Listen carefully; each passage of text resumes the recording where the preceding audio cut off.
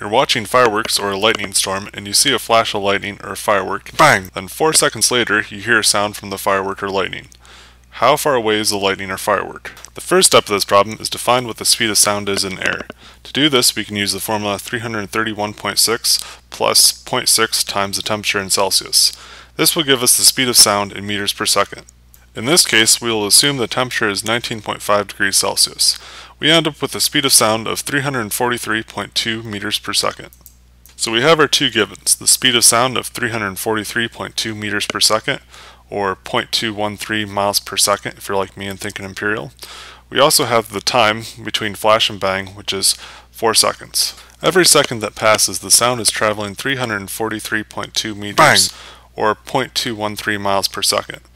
So after 4 seconds, the sound has traveled a distance of 1,372.8 meters, or 0.852 miles. We get the answer by multiplying the speed of sound by time between flash and bang of 4 seconds. If you're outside and need a quick and conservative approximation, you can divide the time in seconds by 5 to get an approximate distance in miles.